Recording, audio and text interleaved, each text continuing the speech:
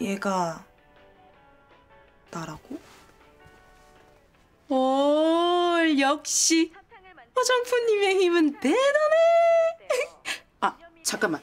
이왕 한 김에 걸그룹 애들처럼 여기 눈 밑에다가 금가루 좀 살짝 뿌릴까? 어? 금가루 같은 소리 하고 있네. 돈이 썩어나냐? 어, 야! 아, 아, 아침부터 홈파지 캐는 거 지면 어떡해? 그럼 이러고 신준영한테 가라고? 어. 지금 나보고 신준영을 꼬시라는 거야? 나 일하러 가는 거야. 그래, 일 하세요, 친구님.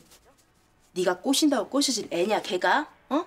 깡빵한 재벌집 딸들이며 너보다 천 배는 이쁘고 돈 많은 여자애인들 준영이 주변에서 번호표 뽑고 대기 타고 있다는데 너 같은 애 신준영 가시거리 안에 있지도 않아요. 아 근데 화장은 왜 하라고? 준영이가 이제 우리 같은 것들은 감히 넘볼 수도 없는 넘사벽이 됐지만 너 싸구려 잠바떼기 입고 가서 찌질하고 우습게 보이는 거 난 싫어. 찌질하고 우습게 보라고 해. 뭐 어때? 난 괜찮은데? 난 안 괜찮아. 내 자존심 허락 안 해. 그래도 한때 그 자식과 어깨를 나란히 했던 우리들의 추억이 넌 불쌍하잖아 그럼.